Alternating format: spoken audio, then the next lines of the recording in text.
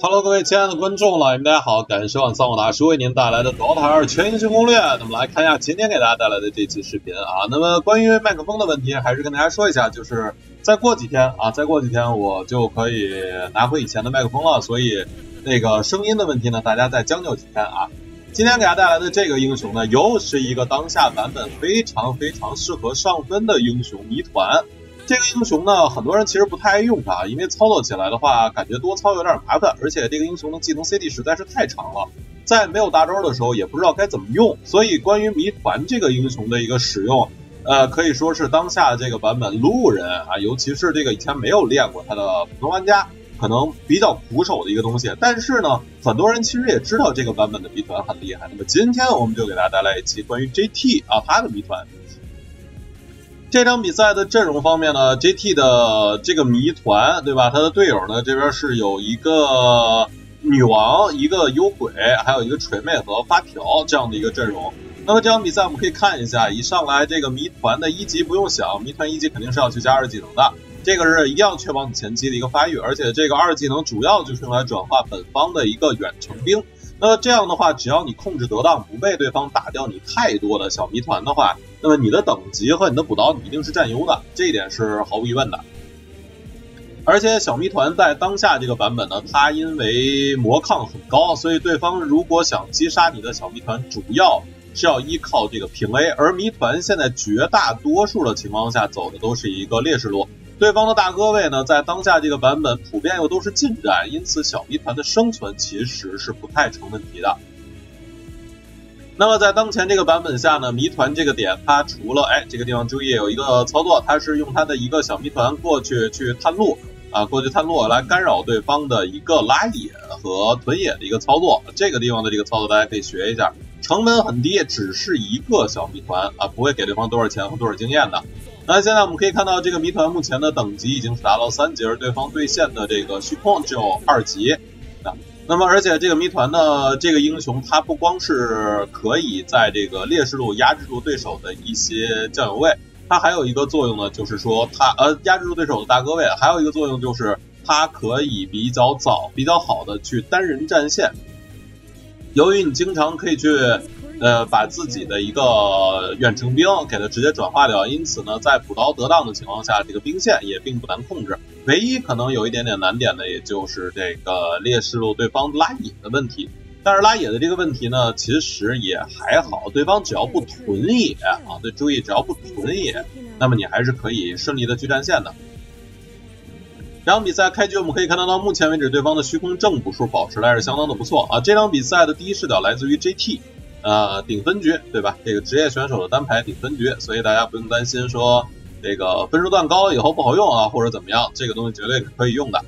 那么关于这场比赛谜团的出装呢，其实很简单。初期的话，你的装备几乎不需要做任何呃其他比较复杂的装备，你只需要去考虑我怎么直接去把我的这个怨灵之气给它做出来。那么做怨灵之气之前呢，肯定是要去做祭品，做祭品之前要做王者戒啊等等这些东西都要做。所以回蓝的话，只要你自己不乱用一技能增物，那只是考虑转化小谜团的话，带一个王者戒，然后再带一点点的这个回蓝的补给，比如芒果之类的，就非常非常的充足了。那由于小谜团的合击，所以塔刀也是完全不成问题啊，只要运气不是太差的情况下，这个塔刀都不会漏掉的啊。这样随便一个合击就可以拿到塔刀，而且反补，因为小谜团的数量多了以后，攻击力很高。对吧？合击攻击力很高，那也不成问题。这个地方下一个小谜团的 CD 时间还有十秒钟左右，所以先不着急。那关于当下这个版本谜团的加点方式的话，一般来说，我个人推荐是，如果对方没有那种前期需要你去开树的英雄的话，那么前期不要去加凋零啊，你就把一二技能点满，主二负一就可以了。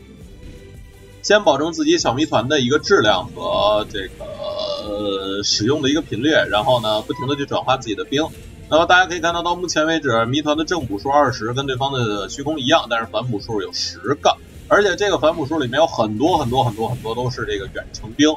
所以这个反补的质量是非常高的。看一下这波对方两个人想来打一波，锤妹支援过来以后，一个增物点上去，锤妹开始输出，对方的冰龙也是毫无办法。可以看到小谜团的合击在面对冰龙这种低护甲的英雄的时候，杀伤力还是非常的够看的。这块虚空再接着往回走，砸晕，再一轮合击，漂亮！JT 这一波配合锤妹的一套技能，直接拿到对方两个人的一个击杀啊，一个击杀，一个助攻。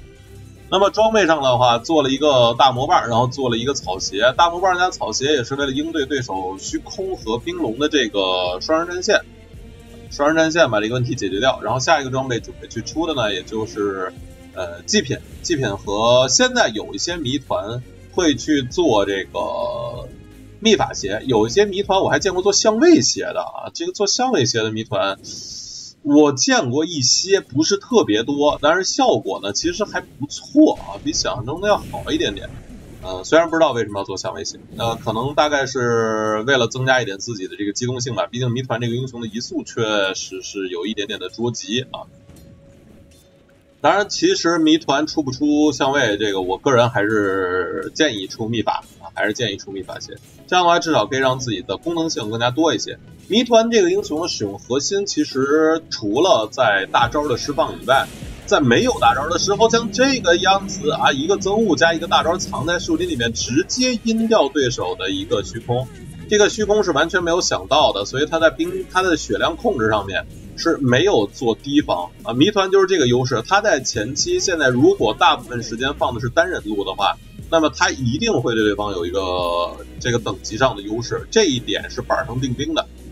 所以刚才这一波的击杀呢，就是谜团最标准，也是我最推崇的一种谜团使用方式。就是你的第一个大招和第二个大招不要留着啊，不要留着。千很多时候我们经常会看到那种使用谜团啊、潮汐这种英雄的玩家，包括虚空，他总想着我一个大招要干好多的事情，但实际上完全不需要啊，完全没有必要。你第一个大和第二个大本来也不用开团，你就拿它用来单杀，只要能够完成一次单杀，那你这个大招就已经很值了。反正你放完大招以后，对方也没办法利用你这个大招的真空期去搞什么事情，对线期还没过，对吧？所以这个时候你第一个大招能用来击杀就用来击杀，能用来单杀是最好的。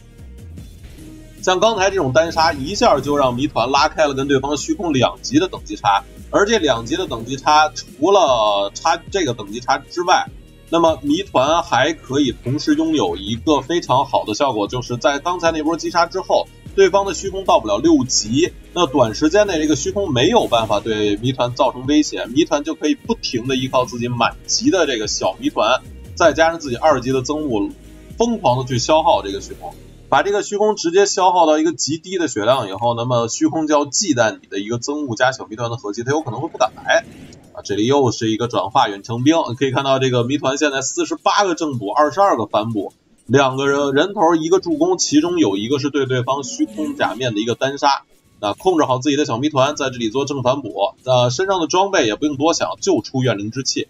怨灵之气加上魔晶这两个道具，可以让谜团在没有大招的时候，正面战场也拥有一个非常不错的作用。那你把怨灵之气的那个图腾扔出去，可以给对方去减伤害，然后可以造成一点点的输出，而且这个输出还可以用来帮助你刷钱。而魔晶这个道具，则是谜团当下这个版本非常非常非常核心的一个东西。你有了魔晶以后，在团战也好，包括打肉山也好，都会提供一个不错的助力啊，尤其是在你没有大招的时候啊，这个对于战斗力的提升真的是肉眼可见，而且极其的明显。这里增物给上去，队友的技能直接给上来，对方的虚空又是再一次直接被秒，根本来不及反应。那么看到对方的一张 TP 以后呢，也是把小谜团拉过来开个视野，但是对方比较机智的直接选择取消掉了这张 TP，否则的话落下来还会死。那么谜团这个英雄最大的缺点呢，也就是刚刚我们说了半天一直要弥补的点啊，就是大招的 CD 太长，所以他的第一视角并不好出，不好出 就是不好出在他这个。没有大招的时候，确实会看起来有一点点的小无聊。但是谜团的使用者，其实核心除了大招的释放以外，也就是看他在没有大招的时候他在干什么，这个很重要。这波谜团溜达过来以后呢，手里有一个增物，看看要不要给，给到对方的紫帽。给完了以后呢，这里又是齿轮弹一下，然后谜团这个时候把自己的小谜团拉出来以后，打出分身，开始集火对方的英雄。啊，这场比赛职业选手也是非常多啊，可以看到这个紫猫是本泽马，而本方的一个优呃本方的女王呢是尤瑞，呃，也就是 OG 的一号位和 OG 的中单位两个选手都是在这场比赛当中有登场。那这个时候谜团已经马上就能做出来自己的一个怨灵之气了。另外，大家可以注意一下这场比赛 JT 在使用谜团的时候的一个呃，在游戏节奏的一个理解上面，以及或者说自己打前站位的一个理解上面。就是当我在前期打出来优势以后，我不会去选择回到自己家半场或者去到其他的路，而是会继续的站在对方家的优势路野区来进行一个发育。尤其是夜眼方的这个优势路野区，这个是最好的地方啊！站在这个地方去发育，而且呢，我也不不往前冲的太多，上高地永远是让自己的小谜团先上去开视野。在拥有了满级的小谜团以后呢，这个虚灵体的持续时间是四十秒，CD 时间三十六秒，也就是说你可以无限的去续航自己的一个小谜团。啊，只要他们不被打死，你就可以无限的用这个东西去刷钱。这个时候在上路利用自己的小谜团本体带线的时候，随时关注自己的中路。目前谜团已经拥有了大招和怨灵之气两个道具，是可以比较好的去支援正面战场的。这里又打出来了一个狗头铲子啊，之前打出来的狗头铲子，拿着这个铲子呢，也是给自己去挖一些补给品出来。小谜团直接推线推上去，开始消耗敌方上路的二塔，然后本体藏进野区。藏进野区以后，利用小谜团在这个地方打钱，顺便呢去拉一个野怪，然后呃自己躲在比较远的地方，让小谜团在比较危险的地方去打钱。这个也是使用谜团这个英雄比较简单的一个策略。可以看到这里他也是有时间直接拉了两组野啊，一边拉野，然后一边利用小谜团去收那边的野怪和线。这个操作不得不说啊，这个操作确实是需要熟练度的，这个一定是需要熟练度的，而且是需要。呃，不光是熟练，你确实是要能够去加一个临场的判断。看看这一波谜团过来以后，先不着急啊，把自己的怨灵之气棒子丢出去。小谜团在合击，本体先别着急，因为这时候也上不去。看一下小地图，自己队友的位置。那么幽鬼没有状态，没有大招，女王也不在这个附近，所以谜团这一波是不会选择强上的啊。这个女王包过来了，女王包过来了以后呢，看了一下女王的位置，谜团这里兜一圈过来，但是女王被对方蹲了。这个位置对方明显是有视野的，女王在过来上这个台阶的一瞬间就被对方先手动手给打死了，所以这波谜团确实没有什么太好的机会上去帮忙。那没有找到机会的话，这个大招如果在已经游戏过了对线期以后找不到合适的机会去释放，不能够完成击杀的话，十五分钟之前这个大招还是可以用来单杀的。如果十五分钟之后，你这个大招就不要乱放了。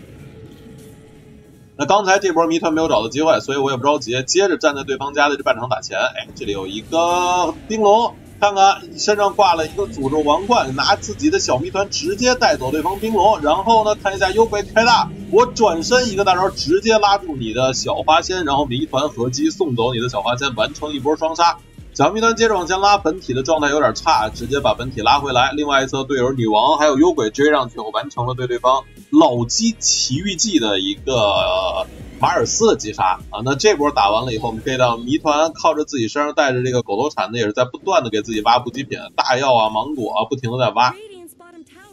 打完这波以后，现在人头数来到了十六比九，谜团的经济继续稳稳的保持在全场的第一位。然后下一个装备他准备出的就是以太。说一下为什么这场比赛他没有选择去出跳刀啊？没有出跳刀，没有出跳刀的原因是因为这场比赛他先出跳刀作用太小，对方能够去打断他大招的人太多了。在你没有 BKB 之前，你的跳刀其实意义几乎没有啊。对方的冰龙也好，马尔斯的长矛，虚空的大紫猫的残音，包括这个小花仙的恐吓，这都是在可以在很远的地方就能打断你的一个大招的一个技能，所以你跳过去放大的这个收益过低。因此呢，他选择先去出一个以太。以太这个道具有几个好处，第一个是在你团战的时候，你技能的释放会更加的舒服啊。注意这里不仅仅指大招，它其他的技能也会释放的更舒服。第二个比较重要的点就是它可以合成在这种比较拖沓的局里面，对于对于这个谜团来说非常重要的一个道具就是玲珑心啊。玲珑心这个道具也是对谜团来说非常好的一个道具。一般来说的话，玲珑心这个道具跟刷新的区别主要在于，就是这场比赛谜团这个大招到底能放出来一个还是两个，差距有多大？主要是看差距有多大。如果一个大招就足以决定比赛的胜负的话，那么刷新就可以先往后放一放，先做个玲珑心，加快一点自己自身的一个节奏，提高容错率啊，因为毕竟刷新的 CD 也过长了。还有一个就是谜团，如果直接裸刷新的话，有可能会出现蓝量不够，因为谜团的技能挺费蓝的。不过谜团的第一视角，它的整体节奏就是比较容易打成这样啊，相对来说的话会比较无聊那么一点点。呃，这场比赛目前谜团的这个魔晶现在十五分钟前呢还差一些，看一下马尔斯这里一个长矛再加一个端啊，上路的阿尔法已经是被谜团的这些小虚灵体啊已经给耗掉了，就一波一波的带兵线去磨已经耗掉了。像这种带线其实是对手最讨厌的。大家可能感觉好像这个谜团一直就在上路待着，哪儿也没去过，对吧？然后虽然说拿到了五杀零死四助攻，数据蛮好看，但是好像不激烈。但是从战略意义上来讲，或者说从这个比赛获胜的这个角度来讲的话，谜团现在的所作所为是对于整个局势帮助很大的。第一，他没有占自己家的资源，也就是说本方的野区中路、优势路啊，包括劣势路、三角区、优势路、野区两条线全部留给了自己的队友。而且他还在不停的去吃对方家里边这个优势路野区的资源，上路的兵线一直给到对方，意味着对方很难腾出手来四五个人抱团去游走，要不停的分派人回来去防守上路的二塔，还要提防这个谜团的单杀，所以这种节奏打起来的话，就会变成谜团一个人牵制住对方至少两个人，并且还打着你家的钱这样的一个局势出来，这种局势一出来就很好赢啊，就很好赢。这波呢，谜团大招 CD 好了，跟队友的第一波开悟，十六分钟，这个节奏也是非常快，而且是刚刚拿到自己的一个魔晶。看看这波队友支援上去以后呢，给上一个凋零，一个虚灵体，然后再利用魔晶创造出来的虚灵体，直接再拉三个虚灵体出来。那这时候锤妹冲上去以后，冰龙临死之前放了一个大，这个大招的效果比较的一般。那么这样的话，锤妹可以往回跑一下，转移一下塔的仇恨，有小谜团在这里吸引注意力，还是非常舒服的。再利用自己的魔晶增物继续创造额外的一个虚灵体，然后拿着这些虚灵体去推塔，这个效率也是非常高。看一下这时候谜团手里大招还在，那么对方的紫毛死血再往回撤，马尔斯冰龙和小花仙已经都被击杀掉了，哎，还是没跑掉。本泽马的这个紫毛最后仍然是被带走。那这波打完以后，我们可以看到幽鬼已经是完成了双杀，而且经济追平了对方的一个虚空。上路的马尔斯这里是抓到了一个酱油味的锤妹，完成击杀。不过小虚灵体又是把兵线已经带到了对方的中路二塔啊，就这种谜团其实是特别遭人讨厌的啊。如果大家有印象的话，像 TI 七啊，TI 七的时候液体，哎，这里给上一个增物，再加上一个凋零，你看光靠一个增物加一个凋零，然后再加上小谜团的合击，就已经把对方一个三号位马尔斯的血量打成这个德行。大家一个大招拉住。这个大招其实他是不想放的，但是没办法，这个地方不放的话，有可能杀不掉，杀不掉更亏。看看这里增物给上去，没有蓝了，然后这个地方赶紧磕魔棒，磕完魔棒以后，把自己的虚灵体再招出来一波，又是完成了对对方花仙子的击杀。一波双杀之后，这个谜团的数据已经甩到了八杀零死五助攻，妖怪般的杀戮。大家可以看到，这个谜团现在在有了魔晶和这个月灵之气的加成之后。即便没有大招，它也能够打出来非常非常非常不错的一个输出。事实上，这一波的击杀，这个两千七百七十九的输出里面，黑洞只占了极少的一部分啊，因为他的黑洞在这一波团战的时候，只是用来去杀了一个呃残血，甚至说死血的马尔斯。因为当时如果不拉的话，夜长梦多，所以先带走你一个三号位。看看这里，女王中了对方一个技能以后，锤妹想用大招救，没有成功。那么拉锤子走人。谜团现在手里边没有大，应该是给队友一个信息，我没有大，能做的比较有限，所以你们不要太指着我过去。不过如果是拉开架势摆好阵型的话，现在的谜团仍然是非常有用。而且大家可以注意一下这个谜团的经济，JD 的这个谜团目前是有一万一千二的个人经济，而游戏时间才十八分钟，这是一个没有点金手的英雄啊，你要知道。在天赋方面的话，现在它是加的是虚灵体的攻击速度，然后在十五级的时候，一般来说我个人推荐也是加三百五十点生命。为什么不加增物触发的伤害呢？因为增物的这个触发次数实在是太过于有限了啊。虽然你加完以后它的总伤害还可以，但是它的时间太长了，不太划算。这个时候冰龙手呃这个谜团手里面是没有大的，先丢一个凋零，然后给一个增物，拿自己的小谜团上去合击，本体不着急，拉开距离，不要让对方的冰龙同时大中好几个人。然后呢，看到发条来了以后，再跟发条拉开距离，慢慢的跟着对方走，等自己增物和小谜团的这个技能的 CD，这里发条带走对方的冰龙以后呢，谜团还是没有找到机会，那我就接着打钱啊，接着打钱。在有以太和魔晶的情况下，谜团在团战的时候，光靠自己的增物这个技能也是可以达成一个很不错的效果的。呃，它只是不显眼谜团这个英雄的技能，我跟大家说，他最吃亏在哪儿啊？就他增物这个技能其实是一个神级的控制，他吃亏吃在哪儿？他吃亏在没有特效，没有什么音效啊。如果这个技能它的音效和它的技能特效做出来，对吧？你都不用特别大，你就跟骷髅王一样扔一个锤子出去，这个看起来视觉效果一下就不一样了。你注意看这一波，对于这个冰龙，我就一个增物，一个凋零，他死了。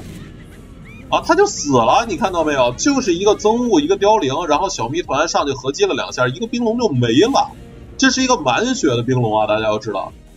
他最吃亏的地方就是他没有什么特效，你感觉哎，这个技能好像是没有什么效果，对吧？那你想象一下，如果你把谜团的这个增物这个技能给它配上一个死问的 A 杖锤子的特效，那看起来是不是就非常的吓人了？这就有点像过去那种老老老游戏，对吧？老的那种 MMORPG 类的那种，尤其是网游，对吧？有的游戏你感觉用的同样的引擎都很破旧，有的游戏打击感就特别好，有的游戏就没有打击感。为什么呢？就是其实就是光影效果和声音的配合的问题。其实大家都没有打击感，但是呢，你想想一个技能打到对怪身上，这个技能的音效是嘣儿啊嘣儿。然后那个，然后那个技能的音效是哐啊，这样的感觉，这个差距就很大了，啊，所以打击感这个东西，尤其是像谜团这种技能，它有的时候反而会给对方一种误解，就是啊，这个技能没有伤害，对吧？那个小谜团 A 人，那个弹道这么细这么小，啊，打人根本不疼，但其实都是误解，啊，全是误解。这会儿打完了以后，谜团在二十一分钟的时候，经济已经是来到了一万二。哎，这里跳过来直接三连啊，一键三连，是不是？这波一键三连，他就非常的厉害了，就如同现在诸位给我点的一键三连一样的厉害啊！当然，可能诸位给我点的一键三连会更加的厉害一些。在谜团在游戏进行到二十一分钟的时候，一万两千七。刚才这一波跳过来以后，增物凋零加拉大的这个三连操作。配合魔晶是很容易达成的，因为在有魔晶以后，它的增物每一段的眩晕时间是可以达到一个一点三五秒，这个眩晕时间就足够你去扔凋零再放大的了。所以说，当年三大兵谜团拉超新星的原拉不到的原因，就是因为那个时候没有魔晶。如果三大兵当时那个年代有现在的魔晶，那三大兵的那个谜团就不会出现那么大的事故了，说不定那个就能靠着三大兵夺冠了。所以说，当时没三大兵拉空了，都怪威慑啊，都怪威慑。谜团这一波打完了以后，身上下一个装备准备出的就是玲珑心了啊，秘法鞋加上这个以太，然后再加上怨灵之气跳刀，然后下一个装备准备做玲珑心。为什么不做刷银球啊？刷银球和 BKB 这两个道具呢，是呃也是非常推荐出的一个套装，但是这个套装推荐什么时候出呢？推荐在对方没有无视魔免控的时候出。这里跳过来给上一个增物，然后立一个棒子，哎，跳出去非常秀。再立上来一个凋零，大家注意一下，这波在没有队友任何输出的情况下，就一个谜团，你看打了这个人多少血？大家注意看，就靠一个谜团，他打了这个人多少血？这是一个三号位马尔斯啊，你要知道。然后谜团只是丢跑上去丢了一个增物，然后丢一些小谜团出来，再丢一个凋零，啊，扔了一个棒子在那儿，这个。就差不多被打死了啊，差不多就要被打死了。这波的谜团在等自己增物的 CD，对方的输出有一点略高，哎，这个站位好像有点问题，跳刀过来，再接着追人，一个增物第一下没上去，找视野，找视野，增物给上去，那么身上中一个诅咒王冠，不过问题不大，因为对方这口也跑不掉。对方中了这个增物以后是完全没有办法 TP 的，你看这一波光靠着幽鬼的过来以后的输出，增物加小谜团的伤害，再加一个凋零，就已经把对方的这个小花仙打的有点生活不能自理了。总伤害真的挺离谱的。二阶天赋的话，推荐是点三百五十点生命啊。谜团，因为有的时候谜团在拉大招的时候，对方虽然不能打断你，但是对方是可以打你的啊。我虽然打不断你，但是我可以打你。所以会很疼啊！加三百五十点生命，让自己能多扛一点伤害的话，有的时候是比较有用的。这场比赛他不出刷新 BKB，无非也就是因为对方的冰龙加上虚空这两个无视魔免控，你刷新 BKB 可能根本就放不出来两个完整大，或者是呃连一个完整的大招都放不出来，还是会被对方打断。因此他这场比赛选择了一个兼容性或者容错性更高的出装，就是出跳刀，然后出以太。这里哦，漂亮，又是一个跳刀，直接开溜对方的马尔斯，再一次大招被秀掉。虚空跳过来以后，一个大招直接攥住三个人。谜团这一波呢，TP 虽然有，但是周围没有能踢的地方，慢慢的往战场上走，遭遇到了对方的一个小花仙呢，我就先送给你一个增物。不过既然看到小花仙的话，也就意味着我现在在过去的意义就不是很大了。我先让这个小谜团出来，然后呢，把自己的一个棒子插出来，棒子插出来以后，你看光靠小谜团的合击，再加上增物，又杀掉了对方的一个小花仙。打掉对方的小花仙以后，这时候幽鬼开大转移到后排以后，已经是无人能挡。击杀掉对方的冰龙之后，我又发现一个大宝贝儿，直接增召唤出来虚灵体以后，再用二技能召唤出来三个。不过被对方的一个光直接打掉。那看看这一波马尔斯有跳刀吗？应该是有跳刀可以留了，那不追了。这波再追的话就没什么意思了，那直接选择是只跳 TP 到上路，因为对方的虚空他看见了。十二格魔棒直接把身上的装备全部丢掉以后，吃掉魔棒，把自己的蓝量拉起来，看一下对方的虚空是有可能打这波兵线。如果没打这波兵线呢，就是在野区，而且最有可能的是在打这个高台上的野。我这里就先不去了，先把你家里的这个大野给你清掉。他刚才在这个位置呢，把屏幕切过去也是给队友打一个信号，告诉队友在那个地方应该是有虚空在打钱。然后这里呢，他没有着急去露头，注意他这波没把这个小谜团放在。兵线上是为了防止对方发现自己的站位啊，所以他选择直接去打野。那么这波打野以后，再拿一个小谜团上来，发现对方果然是已经把野怪清掉。那清掉以后又没回到上路，肯定是已经走了，就不浪费时间了。果断的自己也是把小谜团拉到线上，然后这样的话节约一点时间，尽可能的再多刷点钱。这里是依靠着一个进攻眼，再加上小谜团发现了对手的一个小花仙，准备进野区。但是现在杀这个小花仙的话。应该不需要放什么太复杂的技能啊，一个增物，然后再加上一个凋零，招一个小谜团跟着 A 就 A 死。下路这里女王果断的选择一张 TP，哦呦，这个脸是有点黑啊，被对方是打出来了一个被动晕。那么这样的话，女王这波肯定是跑不掉了。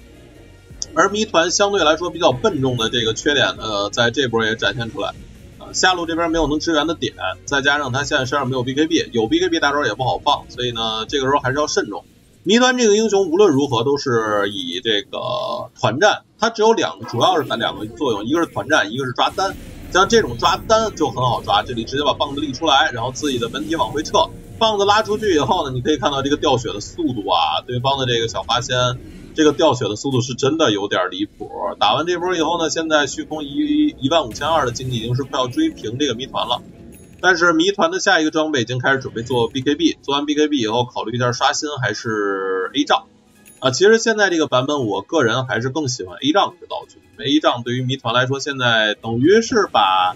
原来的魔晶白送到 A 杖里面，还加强了一点。看一下这里给上一个增物，大招直接跟上去，被对方秒打断。但是问题不大，这波队友很给力，能不能砸晕、砸死？漂亮！对方队友被打死以后，虚空一个大招，正好被谜团躲开，然后丢给你一个增物，逼你开 BKB，你开不开？这边 BKB 被给逼出来了，逼出来以后，幽鬼直接传过来以后呢，他突然间发现根本打不过这个幽鬼，但是幽鬼追的有点靠前，米端这里等一下自己增物的 CD，我跳过来再给上你一发增物，然后被对方一套技能丢回来，但问题不大，对方没有输出点了，虚空直接被带走以后呢，一的幽鬼完成了超神的杀戮。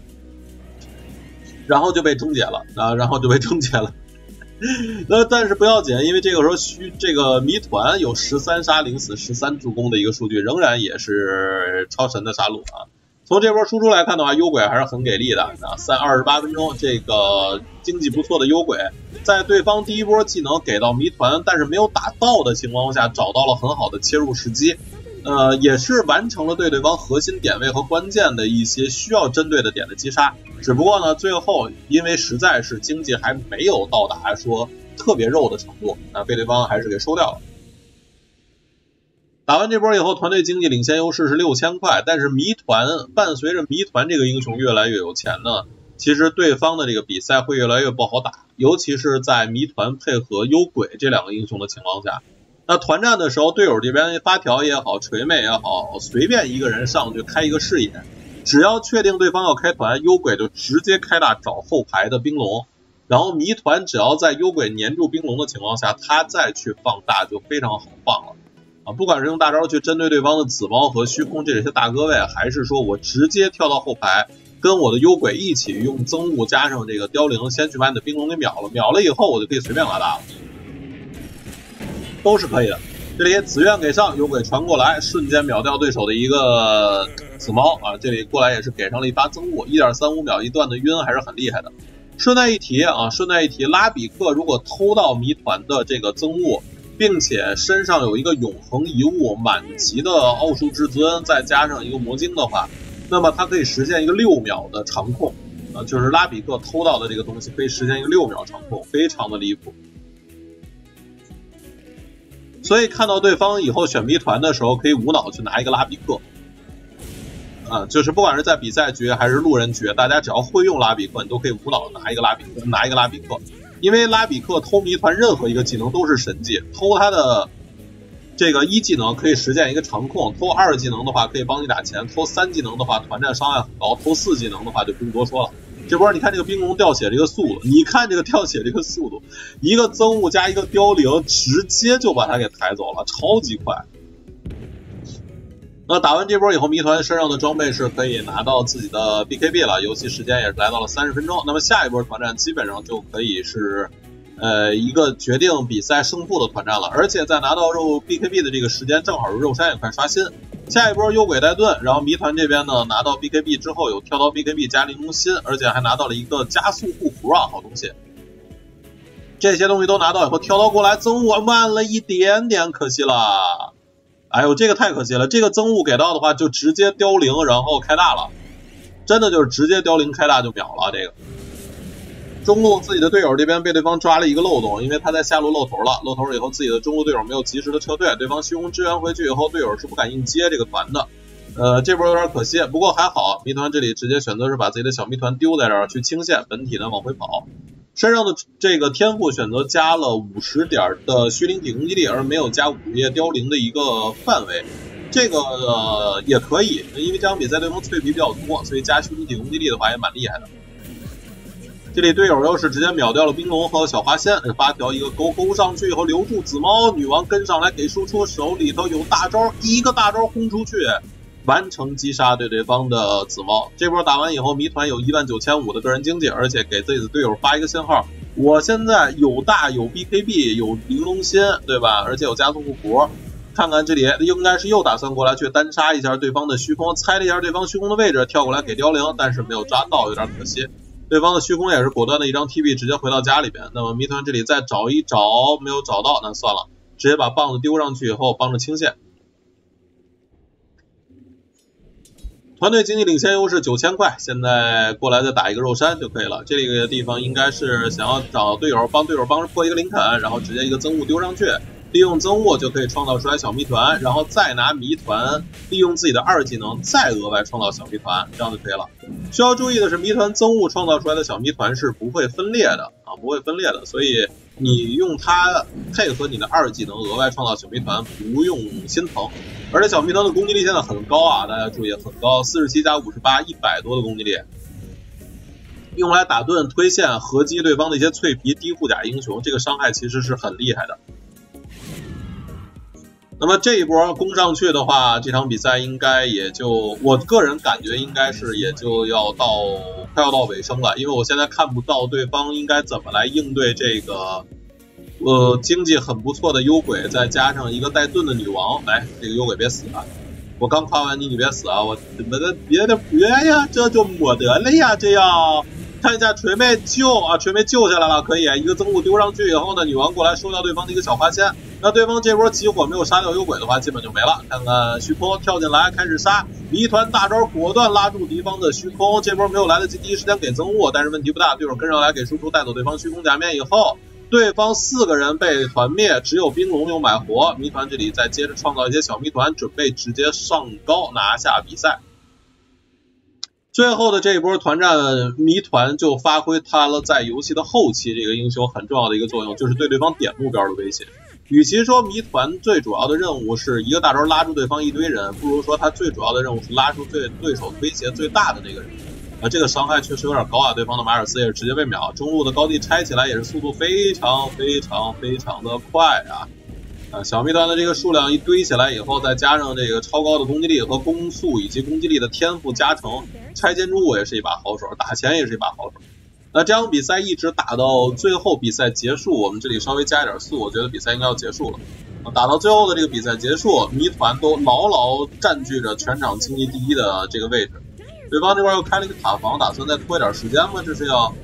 看一下谜团大招 CD，现在还有三十秒钟的时间，这里没有着急争增物，看一下对方这个人的位置，跳刀过来给增物吗？看到了紫猫，这波不用了，技能可以留给下一个人。对方这个时候紫猫被带走，还有人要出来吗？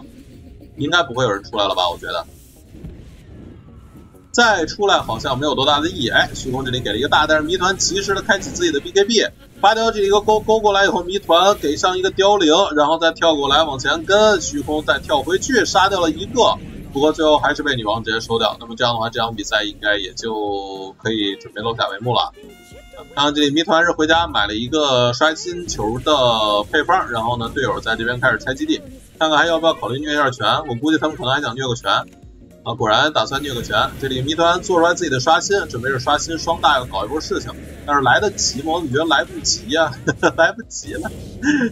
啊！实在没得干了，在原地放了个大，我的天！好吧，那么这样的话，这场比赛也是结束。这场比赛其实 JT 的这个谜团使用的整体来说的话，可以说发挥非常的稳健，然后表现呢中规中矩。但是就是这种中规中矩的谜团，对对方的威胁反而是最大的。如果一场比赛需要这个谜团屡屡建奇功才能够赢下来的话，那么说明这场比赛你的队友或者说你的对手真的是有点问题。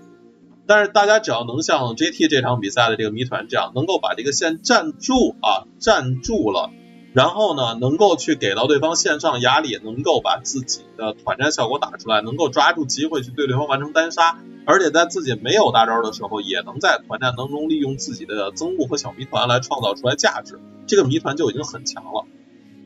另外就是推荐一下这个东西，怨灵之气一定要出，一定要出，一定要出啊！重要的话说三遍。好了，那么今天场比赛就给大家做到这里。我是三号大叔，如果大家喜欢我的视频和直播的话，也欢迎大家能够一键三连支持一波。咱们今天的这期节目就到这里，下期节目见，么么哒。